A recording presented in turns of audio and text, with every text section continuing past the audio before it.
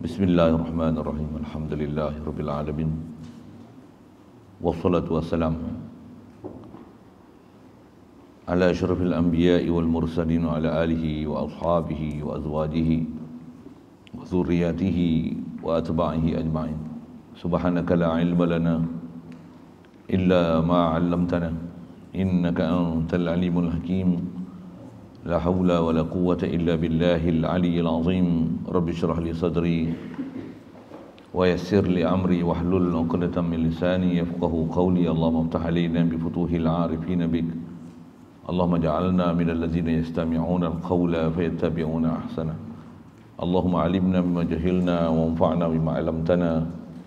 وزدنا علما نافعا يا رب العالمين. ربي أعوذ بك من همزات الشياطين وأعوذ بك ربي أن يهضرون أعيذ نفسي بالله العلي العظيم. بسم الله ما شاء الله لا يسوق الخير إلا الله. بسم الله ما شاء الله لا يصرف السوء إلا الله. بسم الله ما شاء الله ما كان من نعمة فمن الله. بسم الله ما شاء الله لا حول ولا قوة إلا بالله. وبعد. قال شيخ مصنف رحمه الله تعالى ونفعنا به وبعلومه في الدارين. آمين.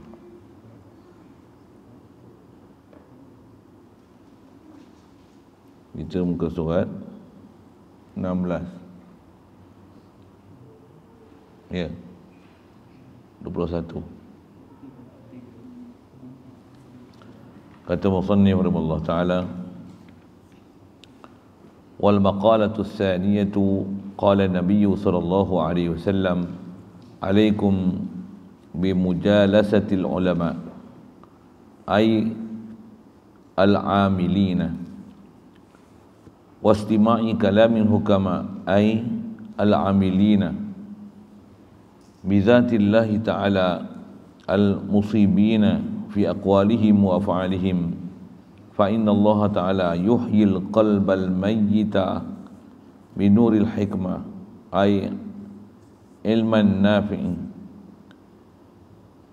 كما يحيي الأرض الميتة بماء المطر وفي رواية.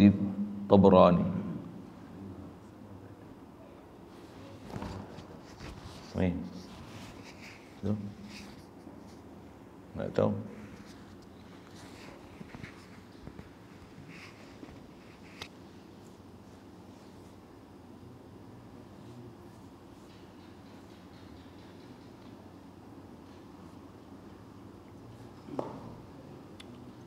وفي رواية الطبراني عن أبي حنيفة جالس الكبراء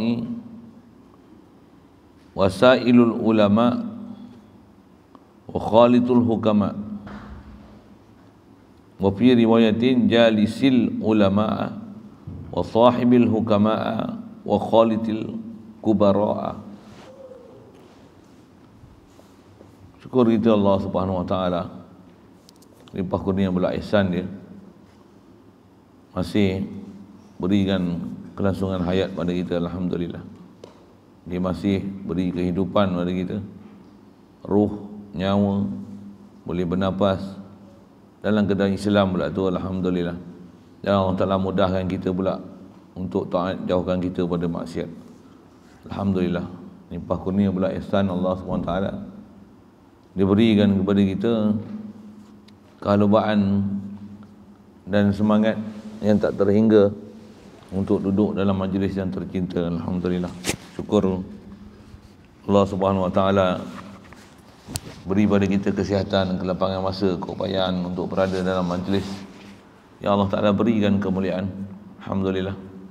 Yang dihadiri oleh malaikat berjuta-jutaan daripada bumi sampai langit yang tangan kita tak kesampaian alhamdulillah syukur diberi kesempatan malam ni untuk kita meneruskan bacaan daripada kitab Nasaih Ibad. Kata Musannif rahimahullah taala wal maqalatu tsaniyatu qala an-nabiy sallallahu alaihi wasallam alaihi salam dan maqalah yang kedua daripada bab dia sebut ni bab dua-dua kan? Dua-dua dua-dua. Bab sunai. Kata Nabi SAW alaikum bimujalasatil ulama. Masa terjemah tu atas kamu duduk bersama ulama. Istilah atas kamu ni kalau bahasa Arab tu betul-betul terjemah harfiah daripada bahasa Arab tu. Alaikum ni maksudnya ai ilzam maksudnya lazimkan diri kamu mestikan diri kamu apa dia sebut uh, perwajibkan diri kamu uh, fardukan atas diri kamu tanggungjawab atas diri kamu. Tu makna ala kata istilah bahasa Arab ada ala makna takalluf tu satu. Ataupun alaikum ni dia boleh jadi dengan makna isim fi'il amar dengan makna ilzam. Lazimkan olehmu. Ada suara macam nak buat?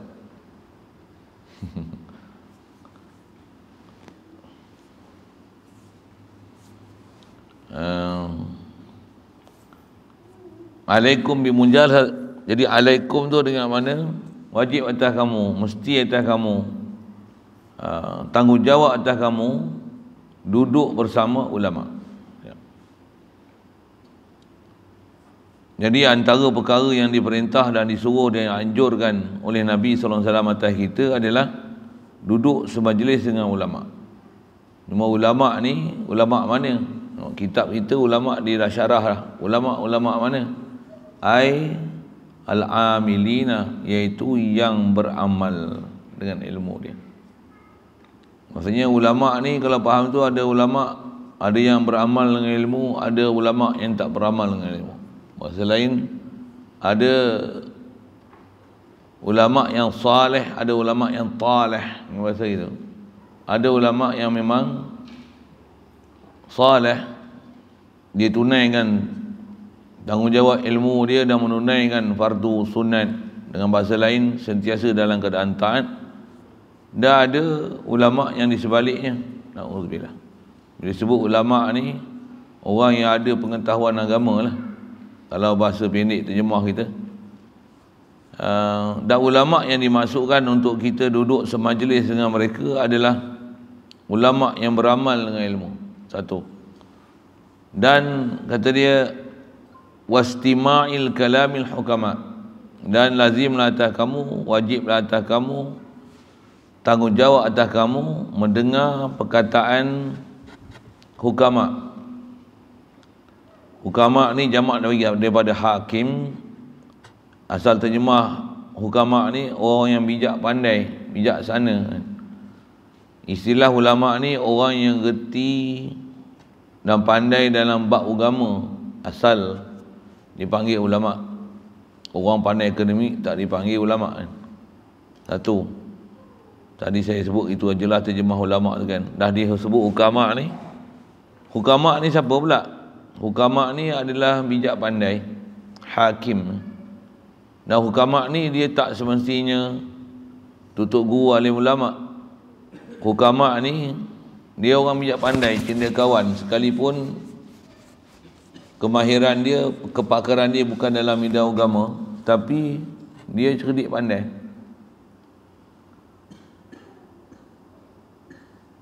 Bijaklah bahasa mudah kita terjemahkan Pasal memang di kalangan kita ni bukan semua orang yang mengaji agama. Tapi dalam tak mengaji agama pun ada yang cerdik. Bahkan ada di kalangan kita mengaji agama tapi di atas kata dia tak beramal dengan ilmu dia bodoh daripada orang awam lagi. Ui, sikit kasar gitulah. Ya, ada, ada. Kadang ngaji sekolah agama, ngaji agama, pandai ilmu agama, balik ngaji rata-rata daripada tempat pengajian Islam. Dalam negeri, luar negeri, seberang laut, dalam laut. Itu buat lawak sikit lah. Ngaji rata-rata tapi pasik. Jahat. Hmm. Banyak derhaka pada orang salah, maksiat. Oh, masalah tu. Kalau ada orang macam ni. Di sebaliknya pula ada orang awam aja tapi taat memang dalam masyarakat memang akan ada golongan-golongan yang macam ni kan? Jadi atas perintah tu kita diperintahkan untuk duduk ulama yang beramal dengan ilmu dia. Maksudnya yang soleh begitu juga nak kenal nak dengar pun perkataan hukama orang bijak pandai ni orang bijak pandai yang beramal dengan ilmu. Bukan hanya sekadar pandai bercakap tapi dia melaksanakan apa yang dia cakap. Istilah dalam Quran yang ni dipanggil golongan sadiqin. Ayat Quran bagi syarat dalam bab ni firman Allah Taala Ya ayyuhalladzina amanu taqullaha wa kunu ma'as sadiqin. Terjemah ayat Quran tu wahai orang yang beriman, takwalah kamu kepada Allah Taala. Wa kunu ma'as sadiqin. Dan sentiasalah kamu kena berada ma'as sadiqin bersama-sama dengan sadiqin. Ayat Quran tu sebut dengan sadiqin, orang yang benar. Siapa maksud benar tu faham daripada hadis Nabi SAW ni orang benar ni ada dua ulama yang benar hukama yang benar siapa dia sadiqi ni orang yang benar dengan makna dia ada pengetahuan dengan apa dia nak cakap dia tahu apa yang betul tu ialah betul dan dia beramal dengan betul. Ha, itulah sadiqi begitu juga cerdik pandai ni dia memang cerdik pandai dia memang cerdik dan dia memang beramal dengan amalan yang cerdik dia tak jadi bodoh. Yang tu. Membuat perkara yang bodoh dan sia-sia. Ha. Quran punya bahasa dalam lagi lah kalau faham tu kan Allah Allah SWT isyarat takwa ke Allah Ta'ala dan keedah nak dapat takwa ni mesti syarat dia ma'as sadiqin berserta dengan sadiqin jadi antara makna dalam kitab disebut sadiqin ni siapa? Diisyarat dengan syarah dia di luar kurungan tu dia kata apa? Ail amilin. Sadiqin ni adalah orang yang mengatakan apa yang dia kata. Jadi kalau orang hanya pandai bercakap sembang gelembang lebak gelebuk gelebak gelebuk tapi dia tak pernah laksanakan apa yang dia cakap bahkan manis kata di bibir saja tapi amal harian lain bicara yang ni tak boleh pakai. Nisbah duduk, terus duduk semajlis dengan dia mah. Kita akan meresi perangai dia. Apa dia? Cakap pandai. Bahasa clean ni macam mana? Cakap tak ada serupa bikin. Itulah bahasa mudah dia. Jadi sebaik-baik kita duduk semajlis ni, majlis dengan orang yang apa dia cakap, dia bikin. Ha, bunyi India sikit lah. Memang bahasa tu Mesti India kan dengar kan. India cakap tu kan, cakap tak ada serupa bikin. Kan? Itu macam kan? Ada dengar itu macam kan? Kalau dengar. Boleh faham. Allah. Baik.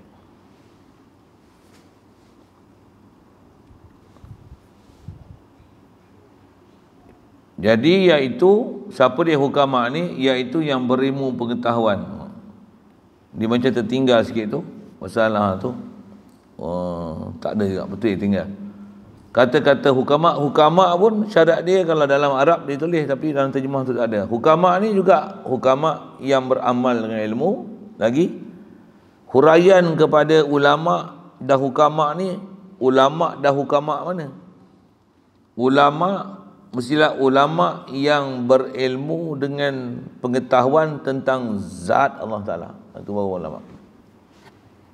Dia ada pengetahuan bizatillahi ta'ala yang dia faham zat Allah Ta'ala hakiki wujud zati wujud zatul kidam zatul baqa. Allah qa'im bi nafsi dia tak hajat pada sesuatu selain pada Allah Ta'ala semua makhluk Allah. Allah tak hajat sikit pun buat pada makhluk. Dia buat makhluk bukan di atas dia ambil manfaat pada makhluk. Ataupun nak duduk di makhluk. Subhanallah bahkan dia buat makhluk dia nak izharkan. Dia adalah Tuhan yang bijaksana dia nak zahirkan dia. Dia nak menunjukkan dia siapa yang tu bahasa kan. Tapi tak ambil manfaat sama sekali di atas untuk manfaat tu ke zat Allah Taala subhanallah jadi Mestilah ulama yang kita nak dengar ulama yang beramal dengan ilmu dan tak dikatakan ulama ni mesti ulama yang ada pengetahuan dengan zat Allah Taala. Satu ulama kalau akidah dia rosak out tak pakai. Pasal walaupun pengetahuan dia dalam bab lain bagus, tapi kalau bab akidah fail, gagal, buang. Cabak balik. Itu keedah kita. Mengalah elok ayat tu. Mungkin ayat ni saya titip sikit lah kan. Keedah kita, akidah rosak tak kira lah kau mufti ke, buah pasal itu kan. Engkau ada PhD ke, akidah engkau, akidah mujassimah, musyabbihah, wahabi, syiah, apa lagi, liberal, macam mana? Campak parit. Walaupun pada dia ada perkataan-perkataan yang indah yang kita kata boleh pakai lah kan. Tak payah. Banyak lagi, ramai lagi orang-orang yang bijak pandai yang kita boleh ambil yang mereka ni lebih selamat untuk kita dengar perkataan mereka daripada dengar orang-orang yang perkataan dia mungkin satu sudut berharga mungkin ada baik dan tak baik tapi bila akidah dia rosak prinsip kita senangnya lempar je masuk parit itu kita cukup senang satu bahaya kalau saya sebut misalnya ada tokoh-tokoh hukama lah. Bijak pandai. Mereka nampak macam pejuang apa kan. Macam kalau saya sebut nama siapa tak kenal? Ibrahim Lincoln. Misalnya. Oh. lagi? Sebut nama-nama tokoh-tokoh orang putih. Oh, Mahatma Gandhi. Oh. lagi? Ha? Albert Einstein. Oh, oh punya putih lagi lagi. Kita pun tak tahu. Baguslah. Maksudnya kita tak peduli lah. Zuhur lah kawan putih ni. Ha. Kita dengar nama tu pun. Hmm, kembang tegak aku dengar. Sepatutnya memang ada selera macam tu. Tak selera kita nak dengar perkataan-perkataan orang ulama yang akidah dia rosak. Contohlah. Perkataan Tok Wan tu. Tok, Tok Wan, Tok Wan tua tu lah. Yang berhenti jadi Perdana Menteri tu. Kan? Dia letak jawatan tu. Agak-agak nak dengar ke? Tak tahu saya tak selera dengan perkataan dia. Tak selera saya. Orang macam tu Allah pelik. Pasal akidah dia rosak. Mana tahu rosak? Oh kita ada pengalaman lama dengan dia. Kan? Dia boleh kata macam ni. Orang tak semayang belum tentu lebih baik daripada orang semayang. Orang tak pakai tudung belum tentu lebih baik daripada orang pakai tudung. Apa tujuan dia cakap macam tu? Ada misteri je dia cakap macam tu. Keedah kita macam mana? Kalau pakai tudung belum baik, tak pakai tudung tak baik. Baru betul cara berfikir tu. Tak semayang pun, semayang pun belum tentu baik, belum jamin ahli syurga, ingat tak semayang bagus. Oh, patutnya begitu cara berfikir. Dia kata orang ngaji agama belum tentu baik, dah ngaji agama pun tak baik, ingat tak ngaji agama bagus sangat. Oh, itulah kan. Ayat-ayat yang sepatutnya kita kena betul kan. Uh, Apatah lagi ada bab-bab akidah dia rosak kan. Kalau dia hebat macam mana pun berceramah tapi dia kata Allah duduk atas aras. Lempar yang pakai. Tak dia pakai. Kata apa?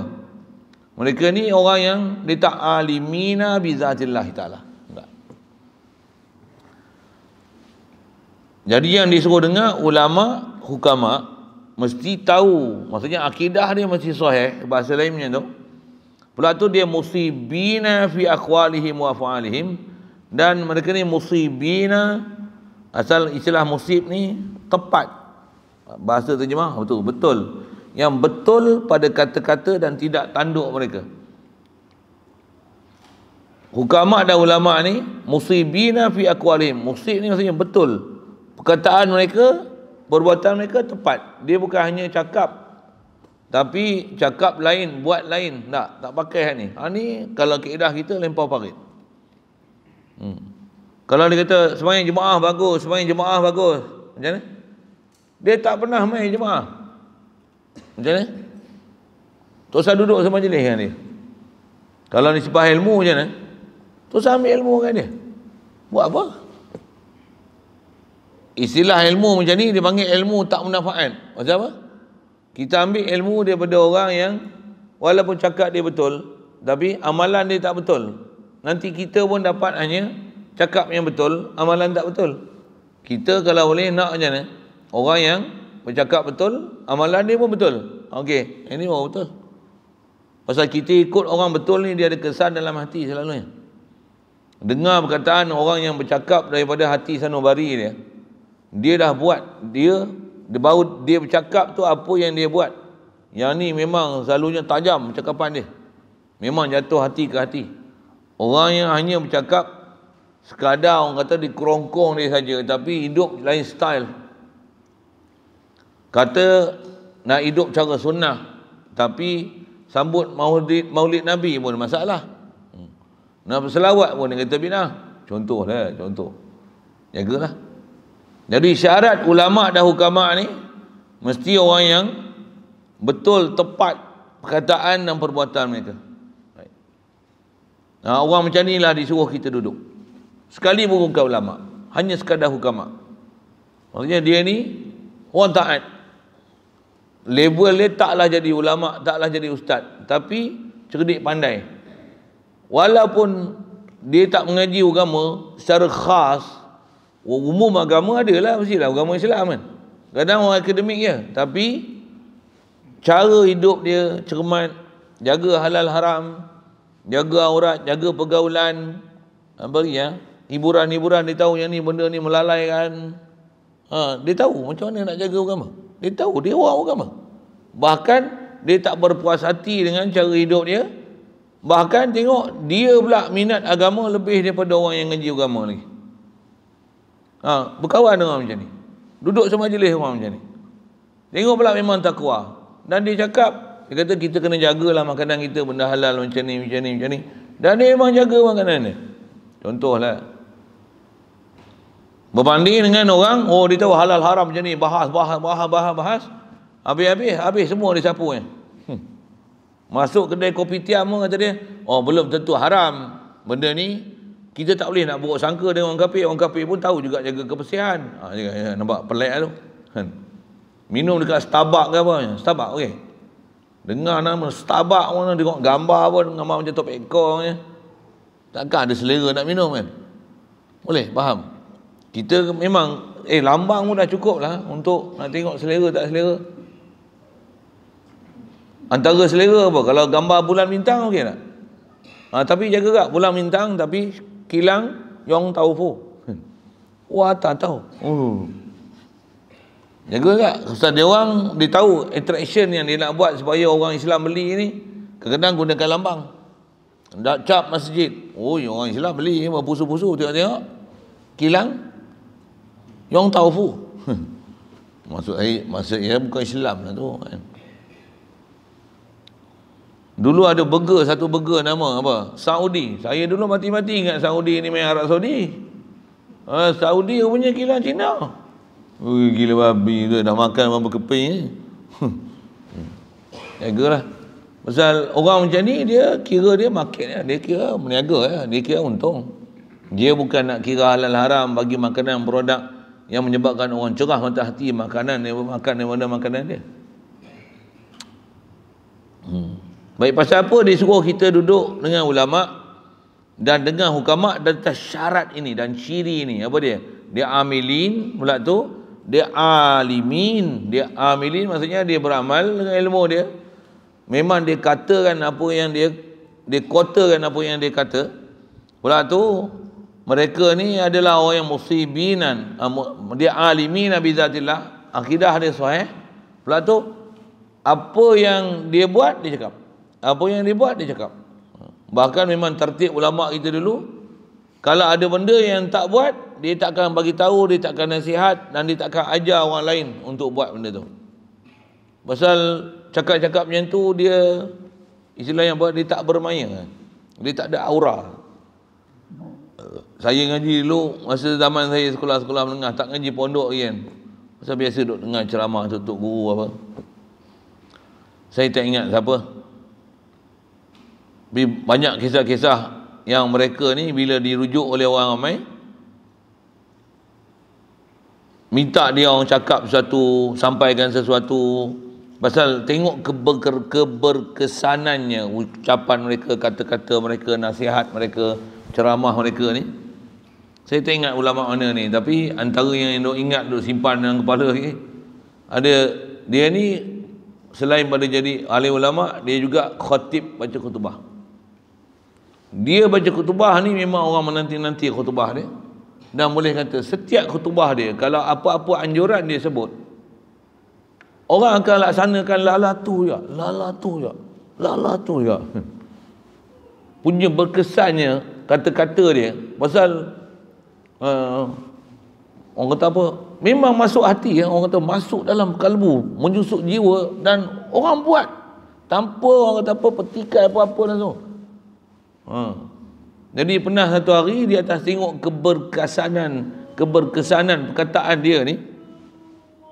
Pernah satu hari didatangi oleh seorang hamba hamba lah zaman tu faham ni zaman-zaman kegemilangan Islam lah. Maksudnya ada orang kafir yang ditawan oleh orang Islam.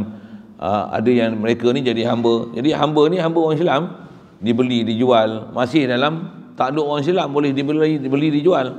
Dia jumpa khatib ni dia kata aku nak minta kat engkau wahai khatib buat apa?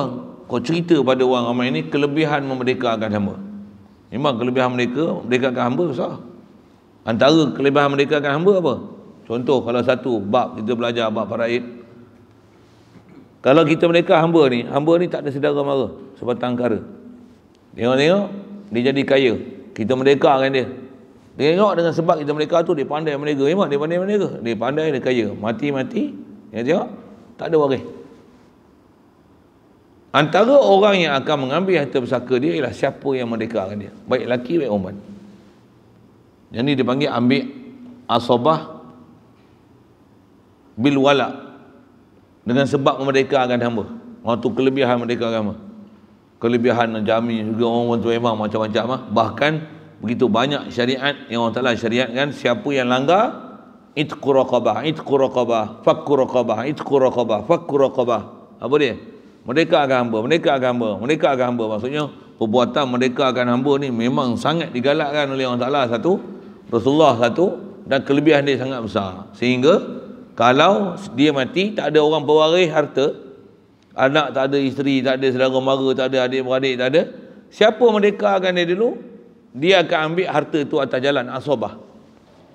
Huh. sekali pun perempuan. Huh. dengar sekali pun perempuan. Perempuan ni kalau ikut tak boleh ambil asobah. Melainkan dia ada nama asobah bil ghair asobah uh, bil ghair ma'al ghair adalah istilah-istilah asobah tu ngaji peraih lah panjang umur kita ngaji nanti insyaAllah Memang saya ada niat nak ngajar tu. Hmm, tu kelebihan mereka akan hamba. Cukup saya sebut macam tu. Jadi, nisbah kalau boleh dia nak cerita, memang dia boleh cerita. Jadi bila hamba tu minta supaya cerita kelebihan mereka pasal dia kalau boleh nak bebas nak merdeka kan. Setiap hari Jumaat bila semayang dia duduk dengar khutbah tak cerita-cerita lagi bab mereka hamba ni. Ha, what dia ni? Bahasa macam tu lah kita. Dia tunggu, tunggu, tunggu, tunggu, tunggu hingga lebih kurang dekat 53 kali. Eh, 52 kali. Kenapa saya sebut 52 tu? Setahun. Mana? Setahun.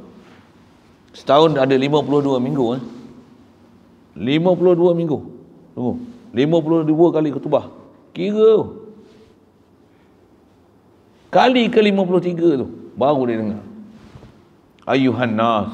Hmm. Alaikum bi'itqir. Oh, kamu ni kena merdekakan hamba. Mereka juga makhluk Allah. Mereka telah ditawan oleh kita orang Islam. Alhamdulillah Allah Taala bagi kemenangan kepada kita. Kelebak gelebuk, kelebak gelebuk. Hu. Tengah baca khutbah tu. Wallahi. Hu. Merdeka hamba semua. Jadi antara di mereka kan tu hamba yang minta dia baca khutbah. Selesai tu mereka dah seronok kan. Buat apa? Dia ada benda dia tak puas hati tak? Apa?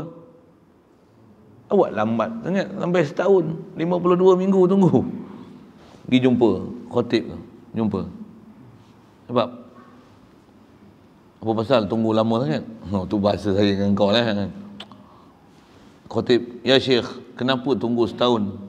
Saya menunggu itu apa? saya nak sebut lagi saya. Hari dia saya paling gembira. Tapi saya masih ada benda terkilan. Kenapa sampai begitu lama baru kau sebut? Kalau setahun dulu aku dah merdeka setahun dah. Kenapa sekarang kau sebut? Ha, rahsia dia macam ni. Kata dia, Wallahi. Kata dia, aku tak akan berkhutubah dan tak akan aku suruh seseorang buat sesuatu. Melainkan aku dah buat sesuatu. Bila kau suruh aku tu, aku mula kumpul duit beli hamba. Aku tak ada apa. Aku beli apa. Semalam aku merdekakan dia. Hari ni aku baca ketubah. Satu aku suruh merdekakan hari ni. Fuh. Ha, nak cerita apa? dia bercakap di atas power macam tu memang keadaan ulama kita ajar macam tu kita belajar nahu pun dia ada sebut satu syair dia kata la tanha an khuluqin wa ta'tiya mislahu arun alaika in fa'al ta'zimun dia kata la tanha an khuluqin wa ta'tiya mislahu kamu jangan tegah di atas satu perangai wa ta'tiya mislahu padahal kamu duk buat tingkah laku yang kamu tegah tu. Contohlah, bapa Isa Okok, Mr. Dragon. Sorry ya, saya sebut tu sorry sikit. Lepas tu, Han jangan Isa Okok. Eh. Bapa tu marah ni, dapat anak dia Isa Okok pula, jumpa, piak, piak pukul. Ha, Isa Okok lain kali aku, balun. Ni dengan kotan, aku balun dengan tongkat tu. Who? Dia Mr. Dragon. Tapi dia tak bagi anak dia jadi dragon. Dia ibarat macam ketam berjalan. Sengit. Mengajar anak jalan lurus. Oh, tak bagus. Walaupun satu sudut menegah orang buat mungkar bagus. Tapi dia tak ada tak berkesan disebabkan kita masih buat benda-benda yang kita pun langgar hak tu tapi kita larang orang lain buat. Di atas nisbah tanggungjawab kewajipan nahi mungkar di atas mungkar yang kita lihat walaupun kita dah buat mungkar memang ada bab bahas macam tu ha? kalau sikit kalau saya sebut itu kalau kita baca kitab lah misalnya hukum orang ni dia Islam dia minum arak. Dia minum arak kawan dia minum arak. Dia kata kau minum arak tu haram. Aku tak bagi kau minum. Hmm. walaupun dia duduk minum arak. Dia minum arak dia kena faham memang arak tu haram dia tak boleh halalkan dan dia tengok orang minum arak dia kena cegah orang minum arak. Walaupun dia duduk minum arak tanggungjawab tu. Kalau dia tak cegah dia ada dua dosa. Satu dosa dia minum arak dua dia tengok orang minum arak dia tak tegah orang minum arak sampai macam tu pekah bahas satu satu satu satu walaupun begitu ha, disebah nak sebut keberkesanan ni ulama kita nasihat macam ni ha, carilah orang yang memang dia bukan saja cakap tapi dia tunai dengan apa yang dia cakap itu terbaik ya. Siap, selesai. Jadi kalau faham tu, jangan sama sekali duduk pada majlis orang yang menganjurkan buat maksiat. Jangan sama sekali. Ha. Ha. Duduk majlis orang ajak maksiat, lagu-lagu, seni kata, seni kata, perkataan-perkataan yang menganjurkan membuat benda-benda yang maksiat yang tak elok. Oh, jangan pergi duduk dengar tu. Hmm. Siap. Baik, pasal apa dia suruh duduk dengan ulama yang amilin, hukama yang amilin, hukama dan ulama yang alimin bizatillah yang tauhid dia betul dan setiap perkataan mereka tepat macam mana perbuatan. Yang ni terbaik lah kalau kita boleh jumpa. Fa inna Allah Ta'ala yuhyil qalbal mayyita binuril hikmah. Sesungguhnya Allah Ta'ala menghidupkan hati yang mati dengan cahaya hikmah. Bahasa disebut itu. Dengan kata-kata hikmah, hati seseorang boleh hidup. Baik, apa dia kata uh, cahaya hikmah ni? Iaitulah kata dia ilmin nafi' ilmu yang bermanfaat. Jadi faham tu apa dia ilmu manfaat? Pengetahuan yang kita dapat daripada orang yang memberikan kita pengetahuan tu yang dia pun beramal dengan apa yang dia buat. Dia beramal dengan apa yang dia cakap sorry. Dia beramal dengan apa yang dia cakap. Apa dia cakap dia buat. Kalau contoh dia memang baca Quran satu hari satu juzuk. Kata dia bacalah Quran satu hari satu juzuk memang dia baca satu hari satu juzuk dia baca Quran oh hak ni paling best paling best Tentu kita kadang dengar nasihat daripada orang-orang yang suruh kita baca Quran, dia pun tak baca Quran, kita tengok macam mana? Buat macam mana selalu? Macam mana? Hmm. Hmm, betul betul tak? Betul tak? Tak betul? Hmm. Blok muka gitu. Betul? Pasal apa? Dia tak baca Quran. Sebab suruh kita leh. Dia pun semayang main lambat-lambat duk masbuk, masbuk suruh kita semayang main awal. Kan, ha, kan, kan, kan? yang yang tu satu sudut nisbah dia suruh dah baik bagus tapi dia tak kesan dalam hati Allah. Satu kalau kita kalau jumpa ada tok guru yang memang macam ni eh. Guru best. Satu saya nisbah saya saya berguru ni. Saya ada guru lagi yang saya ambil daripada dia. Pasal apa? Uh, dia kalau cakap memang dia takkan cakap melainkan apa dia dah buat baru dia cakap. Dia kata kasih pada guru, dia kata akidah tu syekh contohnya. Akidah dia dengan guru macam mana? Dia korban syekh, dia kata mali fida, nafsi fida. Dia memang kalau guru dia datang, dia akan duduk dengan guru 24 jam dengan guru, dia akan khidmat duduk tepi pintu, guru duduk sebelah. Guru keluar je jumpa muka dia dulu. Uh, saya tak boleh buat itu. Tapi bila dia cakap macam tu, memang terkesan dalam hati kita. Pasal dia buat macam tu. Hmm. Saya berguru dengan orang macam tu. Hmm. Itu antara guru saya kan. Walaupun nisbah saya Arab, saya reti lagi. Quran saya ada hafal banyak dari dia lagi. Ngaji pondok, saya ngaji dalam pondok lagi lama dari dia lagi. Tapi saya mengaji dengan dia. Saya dengar kata-kata dia. Saya dengar nasihat dia. Siapa? Uh, hak tu saya tak lawan. Angkat tangan. Kalau guru dia datang, tu guru dia tu ialah guru bagi guru saya lah. Kan? Kalau guru dia datang ni, ni cerita mami. Mami tu isteri dia kan. Cerita isteri dia. Isteri dia kata apa? semua duit simpanan yang ada tu dia akan belanja untuk buat majlis majlis ni kau tak sumbangan sekupang pun tak apa aku keluarkan semua duit aku yang penting majlis ni majlis untuk raikan guru ni biar aku keluar kau tak keluar sekupang pun aku pun tak minta duit untuk kau bagi sumbangan aku akan menggunakan duit aku ni untuk majlis guru ni supaya kau hadir dengar kata-kata dia oh saya mengaji dengan guru ni uh. Ha. Allah Pasal Allah Ta'ala dia akan hidupkan hati kita dengan cahaya hikmah macam ni. Hmm. Satu kalau kita jumpa guru macam ni, pegang betul-betul, jangan lepas. Memang untuk, untuk guru kita nasihat macam tu. Jumpa guru macam ni, pegang, jangan lepas. Saya pegang, saya tak lepas. Hmm. Bandingkan dia, kata dia, Kama yuhyil arda al-mayyitata bima'il matar yuhyil arda ma'da mautiha kama yuhyil arda mayyitata bima ilmatar seperti mana hati yang dengar kalam hikmah daripada orang yang bercakap dia beramal dengan apa dia cakap ni macam mana orang Ta'ala hidupkan bumi yang mati dengan air hujan bumi mati ni apa? padang pasir, tanah gersang turun hujan punya ni uh, dalam sekelip masa mata hijau bumi uh, Ha. Orang yang bila dia beramal, kalau dia pergi dakwah lah saya buat misal kita buat misal kan. Dia pergi tempat orang kafir, dakwah, memang dia amal sungguh, bukan dia pasal dia makan gaji kerja dakwah pasal tu dia dakwah dah. Pasal memang dia nak dakwah dan memang dia dakwah ni dia kata la ilaha illallah. Memang mukhlisin lahuddin. Memang dia kenal Allah Taala, memang dia sebut tu ittaqullah dan aqimus salah alaikum bil jamaah misalnya dia sebut lah dia kata dia alaikum bil Quran di setiap nasihat dia memang dia buat oh, orang yang jahat terus jadi baik hmm. siap jadi kita kena cari orang-orang macam ni untuk kita nak berkawan berguru kan baik Cuma kalau dah tak jumpa macam mana, ha, hati-hatilah. Jangan pergi kawan orang hak jahat tu. Satu saya ngaji dulu. Masa tu saya tak pergi pondok ni. Ramai ustaz-ustaz tu tunggu nasihat apa? Jangan tengok TV. Zaman saya dulu TV ni kira mungkar lah.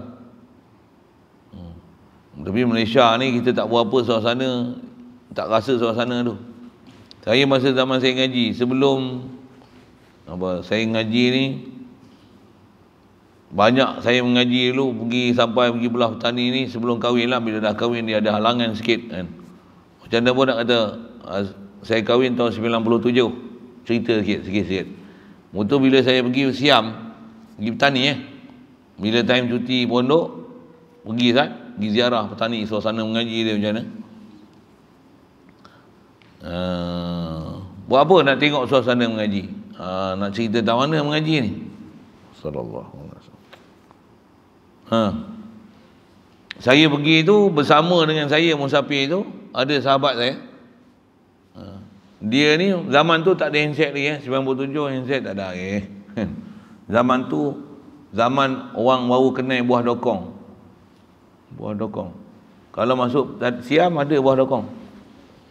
Jual. Malaysia masa tu orang nama tak nak kenal. Buah dokong tu kalau musim dia saya pergi tu memang musim buah dokong baru kenal. Buah dokong tu nak rasa sebiji sebutir tu setir tu dua kau dua kupang. Sebiji tu nak rasa boleh. Dua kau sebiji buah dokong rasa 20 sen. 20 sen siap mahal hmm. dua kau nak rasa buah dokong tu macam mana? Sekarang 3 kilo 10 ringgit 4 kilo 10 ringgit orang tak mau beli sakit urat. Sikit saya nak cerita zaman tu zaman tu. Jadi kawan saya ni bersama dengan dia tu dia bawa satu alat. Alat ni macam radio je tapi ada gambar. Dan dia boleh cari siaran TV satu dunia kalau ada ada lah, dapat dapat lah. Bila pergi Siam? Macam dia buka siaran TV Siam. Tu je je perah perah ha kerang ni kira perah ha ha tu ru kerang cakap Siam lah kan. Ada gambar apa macam jadi saya bukan faham cakap Siam. Kawan-kawan lain yang pondok yang kami pergi ziarah dia masa tu saya pergi pondok ialah Kok dalam pondok dalo. Orang semangat da, dalo. Tapi kita sebut yala, eja pun yala tapi sebut dalo, dalo. Pergi dia kata, "Eh, tutup suara." Kata, hmm, mana orang tahu kita tengok apa? Ui, ada pula. Orang tahu lah bunyi radio atau bunyi TV ya. Betul ya? Kita kalau dengar suara ni, bunyi TV ke bunyi Astro ke, bunyi radio boleh kenal ke? Tak faham saya cakap apa? Kalau radio muzik, anda. Apa Zaman saya dulu kalau TV 3 orang tahu tak? TV lah. Siam ni pasang. Uh, jadi dia pasang tu TV. Sembang-sembang, kenapa ni? Kata dia. Kat sini, pondok dala ni, keliling-keliling pondok belah petani, eh, belah-belah selatan Siam ni. Rumah siapa ada TV pasik. Uh, saya dengar terduduk. Oh, dia ke? Kalau Tok Ime ada TV, makmum bakat tak ikut. Eh. Tok Imen ada TV, makmu berkata ikut Tok Imen. Cari Tok Imen lain. Uh. Malaysia ni kalau ikut macam mana? Seorang tak layak jadi Tok Imen ni. eh, tapi mujur saya tak ada TV. Tapi internet dia kan. Hmm. internet tak jadi. Tak ada. Tak ada. Hmm, Padang dengan muka kita ini. Kita pun bukan ahli nak buat tu. Kita jadi gitu. Apa saya nak sebut? Ah, kita pun tak guna tempat-tempat macam tu tak kerti nak urusnya pasal dia orang ada minta juga apa nak sebut ni? Nak sebut apa ni? TV tak ada lah yang ada. Tapi nak kata apa? Uh, siapa yang memang tengok TV zaman tu saya pergi belah petani ni macam mana?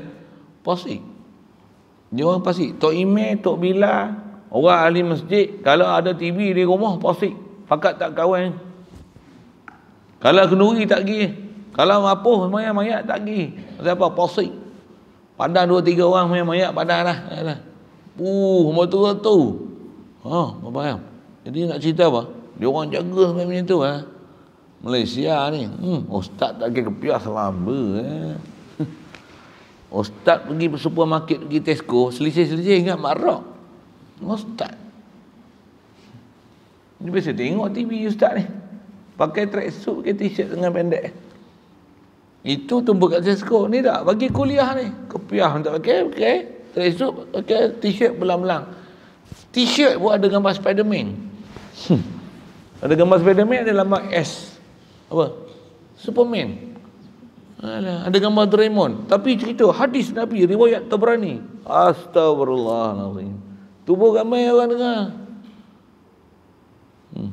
Oh, lama-lama ni dia jadi pasik itu. Kalau ikutnya ni capak parik eh orang itu lempar parik eh. Lempar parik eh. Ustaz tu dengar bahkan kalau nak berlakon sikit buat macam mana? Buat buat gitu nah. hantar apa tu? Lani apa? Yang ada gambarnya. Yang gerak-gerak tu panggil apa? GIF GIF apa nama tu? Ha? GIF kan? Ya yeah. yang tahu eh saya tak tidak sebut. GIF ah yang ada. Sagi hantar tu ha. Patutnya semua orang pakai hantar gambar gift macam tu kan. Hmm, bagi gift sungguh. Hmm, kalau GIFT tu lain ni GIF kan. Gift panggil gift juga kan. Memang makna dia macam tu ke? Hmm, tak tahu. Diam. Sudah. Baik. Wa fi riwayat Tabrani. Dan itu yang kitab kita nama pun nasihat dia. Oh dalam nasihat dia weh.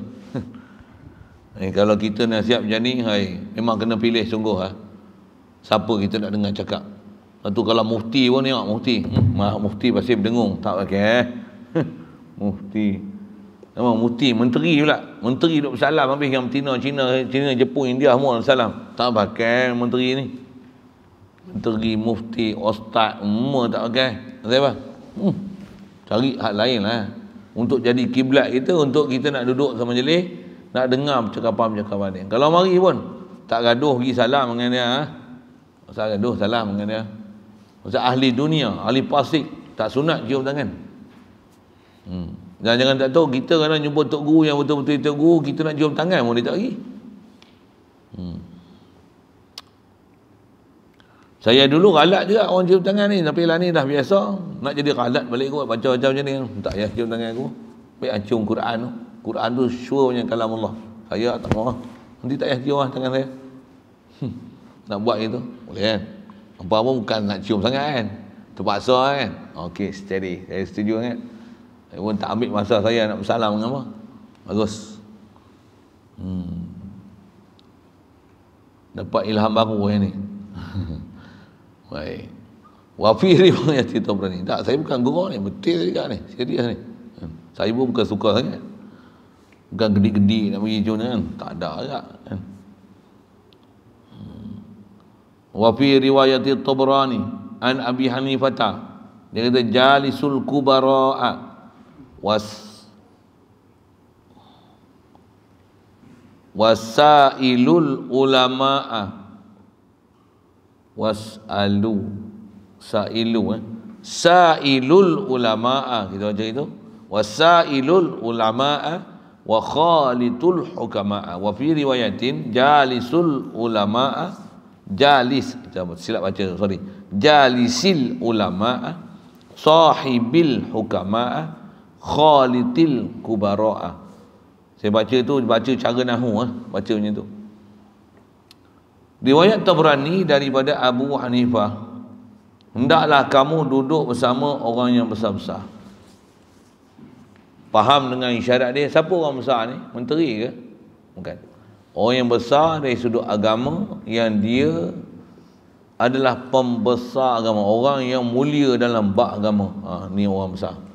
Bukan orang besar ni raja-raja. Mesti kena syarah itu. Pasal dia nak nasihat kita kat situ. Orang yang alimin bizatillah orang yang muslimina fi aqwalihim wa af'alihim. Lagi? Jadi orang yang besar ni maksudnya ulama yang besar-besar, tutup guru yang besar-besar. Orang yang besar dalam bab agama, bukan orang besar pangkat dengan kerajaan. Yang tu tadi pakai. Dan hendaklah kamu bertanya kepada ulama. Kalau nak bertanya, tanya ulama. Ulama pun faham tu dengan apa dia syarah tadi macam mana? Mesti ulama yang amilin. Ulama yang kaki sebut khilaf, khilaf, khilaf, khilaf, khilaf, khilaf, ada pendapat, ada pendapat, ada pendapat. Uh, ulama yang selalu sebut pada pendapat saya, pada pendapat saya, pada pendapat saya, pada pandangan saya. Tinggal. Usah pilih. Hmm. Nak cari cari ulama yang betul-betul dia nak ajar kita macam mana nak cermat beragama, buat macam ni selamat. Tak ada siapa petikai taat yang kita buat, akidah yang kita duk itikad. Lagi dan dalam kamu bergaul dengan hukama. Bergaul kalau boleh dengan orang cerdik pandai. Lepas tu jangan bergaul dengan orang bodoh Pasal gaul dengan orang bodoh, bodoh tu akan lekat kat kita. Bergaul dengan orang cerdik pandai, pandai dan cerdik pandai tu akan lekat kita. Campur dengan orang soleh, soleh dia tu akan lekat kita. Habis tak peribadi, percakapan, kata-kata hikmah, nasihat, apa yang dilontarkan, apa amalan, apa tingkah laku dia. Kalau tak banyak pun sikit akan ada. Di sebaliknya kalau kawan dengan orang yang tak baik, duduk semajlis dengan orang tak baik, ha, apa yang tak baik pada dia akan lekat kat kita tentulah jadi tak payah syarah panjang pun tak apa dah padan tu jadi tengoklah semak lah uh, dengan siapa kita nak berkawan. Hmm. Itu kadang-kadang kita ada orang ni kita tak kenal. Tapi bila dia punya soalan, percakapan, cara dia sembang. Kalau dia ngajar, kita dengar dia ngajar, kita boleh tahu dia ni banyak pengaruh mufti pasir berdengung. Yang ni dia banyak ikut uh, kawan ni. Yang ni banyak ikut Albani. Uh, kita boleh tahu. Maksud apa? Dia banyak jumpa kawan tu, cakap. Cara berfikir, idea dia, cara dia berhujah, sama. Hmm. Memang perasan memang boleh perasan kalau tuan-tuan biasa ngaji pondok tuan-tuan dengar je kuliah tuan-tuan boleh tahu yang ni cara orang pondok ngajar yang ni bukan cara orang pondok yang ni ceramah ha. Kamu boleh kenal ha. ha. boleh kenal boleh kenal boleh orang yang ceramah dia tak boleh tiru setiap pondok setiap pondok tak boleh tiru Melainkan orang yang pergi ngaji pondok baru boleh tahu oh yang ni, yang ni kami ngaji pondok. Eh ya, ya saya sebut. Saya kawan-kawan saya yang memang mengaji pondok, lepas tu dia keluar pondok, dia pergi masjid dia tak boleh dengar kuliah. Macam apa? Tawa tadi dengan puak kencang masjid. Urang urang urang urang urang urang urang urang tutup tak habis balik. Ngaji pondok kan macam tu. Nak sebut panduan kitab apa dia apa dia ni apa hukum macam ni macam ni macam ni macam ni. Eh kat luar tu nak cari orang macam tu bukan tak banyak pun. Sikitlah saya nak sebut itu. Satu dia suruh cari kalau boleh. Nak kawan pun carilah hukama orang bijak pandai. Wa fi riwayatin satu riwayat lain kata macam ni. Duduklah bersama ulama sertailah hukama bergaullah dengan orang besar. Semua tu mesti tanggung apa dia? Orang yang betul akidah pasal perkataan tu satu hal tapi bila dah ada panduan asal dia sebut semua perkataan yang umum hendaklah disyarahkan dengan makna yang khas. Faham? Saya nak ajar apa ni? Ini prinsip baca kitab. Kita belajar tafsir, kita belajar hadis pun ini prinsip dia. Ada tempat am, ada tempat khas. Macam mana nak buat? Tanggungkan semua lafaz am ni kepada makna khas yang ada. Mesti. Dia mesti macam tu. Dia takkan bodoh, ni lafaz khas, ni am, uh, ambil yang umum dalam hadis ni, perkataan ni Nabi pernah sebut umum uh, janji ulama ialah tak kira ulama su ke ulama dunia ulama kerajaan ke pasti mendengung ke dengarlah mana yang baik kita ambil yang keruh kita buang tak ada tak ada semua tu mesti disyarah macam mana hak pertama tadi apa dia mesti ulama ni ulama amilin yang mereka ni atau pangkatnya isyarat Quran tadi sebut kunu ma'as sadiqin mesti ulama ni ulama macam mana yang alimina bi zatillah mereka ni al musibina bi, bi afwalim aqwalihim wa fa'alihim cari ni Hmm. Walaupun yang ni lepas umum. Dia kot faham saya sebut apa kan. Ni ni pun kaedah baca kitab, baca hadis, baca tafsir memang ni kaedah tu. Saya pasal saya ngaji tok guru ajar macam tu. Saya selalu duk ajar baca kitab lain. Kitab ni dia lain sikitlah daripada apa saya baca tak. Betul kan? Selalu saya ajar tauhid, fiqh, tasawuf, nahwu, soraf. Jarang saya baca kitab-kitab macam ni. Kalau saya baca tafsir, baca hadis, lagi lah dengar nanti saya keluar hujah. Ke hujah keluar kaedah-kaedah yang saya mengaji pengalaman tok guru sebut macam ni macam ni macam ni macam ni macam ni walaupun mengaji baru dua tiga kali tapi dah tahu lah oh kaedah dia macam ni kaedah dia macam ni kaedah macam ni bukan boleh ambil sebarang jadi yang ini walaupun ada hadis riwayat ni riwayat macam ni riwayat macam ni macam mana nak buat? Semua dengar nak sebut semua riwayat am yang ada tu ya, jalisil hukama qualitil ulama hukama ulama kubara mesti semua syarah kan di atas makna amilin ha, yang amilin yang beramal dengan ilmu berarti mesti yang alimina bizatillah akidah ni betul mestilah mereka ni kalau boleh yang musibina fi aqwalihim wa afalihim mereka ni memang betul lurus tepat perkataan dan perbuatan mereka itu terbaik Siap. Ha, sedikit dia syarah di atas keedah dan nasihat tu fa innal ulama'a salah satu aksamin al ulama'u bi ahkamillah. Ha, situ dulu. Sambung nanti insya-Allah. Kalau kita faham sekali lalu pun apa dia nak bagi pembahagian tu kita dah boleh faham lah. Tapi dia nak tolong syarah untuk kita untuk sebut pengkelasan dia nak klasifikasikan uh, ulama ni berapa-berapa kategori. Insyaallah. Baca dia baca tapi kita lalu nanti. Insyaallah. Situ dulu. Ada soalan?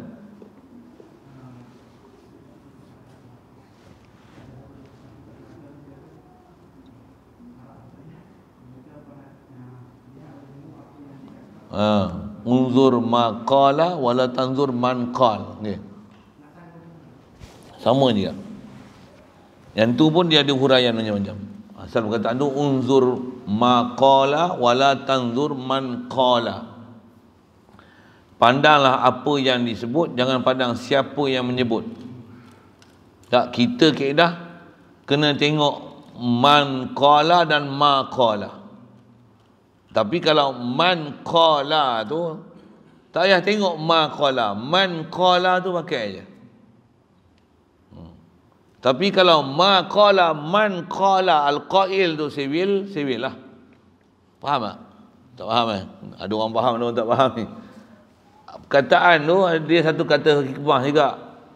Asal perkataan yang ditanya tu ada perkataan bunyi macam ni. Unzur ma qala wala tanzur man qal. Maksudnya apa? Pandanglah apa yang dicakap. Jangan pandang siapa yang bercakap.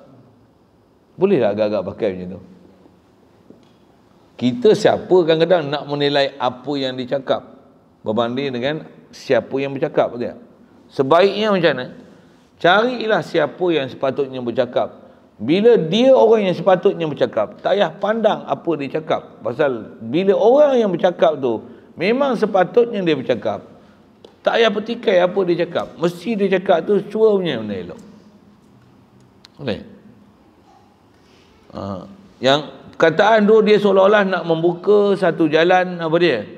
Walaupun orang ni jahat, iblis sekalipun kalau dia kata baik, macam mana? Ambil yang baik. Walaupun iblis yang cakap. Keedah kita macam mana? Daripada ambil perkataan iblis, baik ambil perkataan Nabi walaupun kau daif. Ha, dengar, dengar. Elok, dengar. Kalau kita belajar bab hadis lah kan. Ha, hadis Nabi, hadis sahih apa. Keedah kita, bahkan yang ni keedah Ahmad, Imam Ahmad bin, bin Hanbal, dia antara mazhab yang memang menjadikan hadis-hadis daif uh, sebagai antara tempat dia nak istimbatkan ahkam kerana keedah dia Pasal dia dipanggil mazhab alil hadis. Pasal keedah dia, daripada aku ijtihad dengan ijtihad aku, lebih baik aku ambil hadis do'if. Kenapa? Hadis do'if ni maksudnya perawi itu yang menyebabkan hadis itu jadi do'if. Hadis do'if masih perkataan Nabi.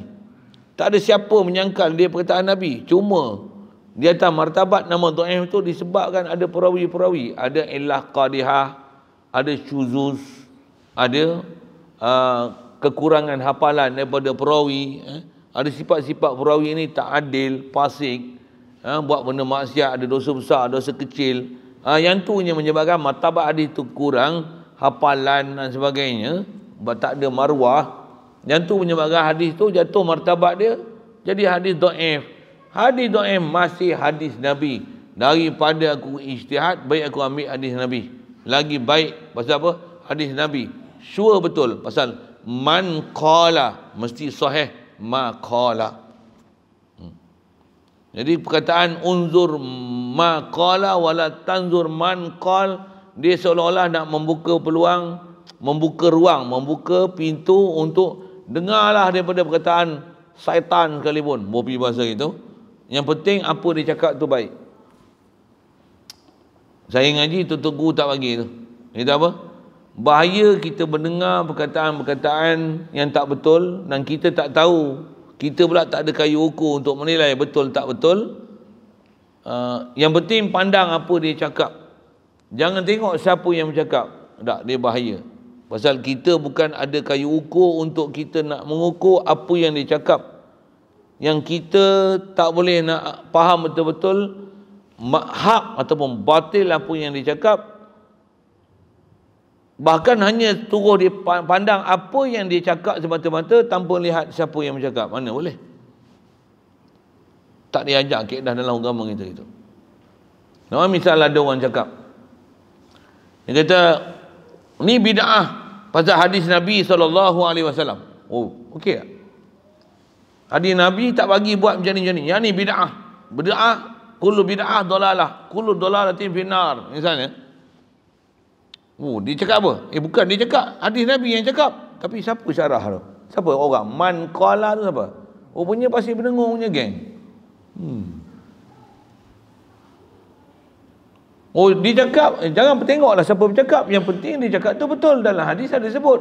Ha, bukan dia cakap, hadis Nabi yang cakap. Memanglah Nabi cakap tapi apa maksud dia bila pasir berdengung dia mesti faham pasir berdengung punya. Jaga sikit. Oh, jadi berhati-hati lah macam tu. Jadi yang tu kot untuk minta pencerahan situ kot kan. Ha. Lepas tu keedah kita atas apa dia nasihat ni apa? Ha, carilah orang-orang yang ulama pun amilin, hukama pun amilin tauhid dia betul. Ha, ambil Imam Syafi'i. Apa masalah? Kan? Kalau dia punya ijtihad salah pun masih dia punya kebolehan ijtihad tu ada pada dia. Bahkan orang-orang yang pasti berdengung ni siapa dia tu? Tanya lain lah siapa pasti berdengung kan? Ha, orang pasti berdengung ni macam mana? Oi dia orang ni Imam Syafi'i tak dipakainya disebut PI kan? Hmm. tak ada hormat mereka dengan ulama. Jadi mereka tak ada hormat dengan ulama dia nak suruh orang dengar perkataan yang dia sebut hadis Nabi, hadis Nabi, hadis Quran macam ni, macam ni. Tapi ulama dia tak respect. Mana boleh respect orang macam ni? Itu sekali lalu.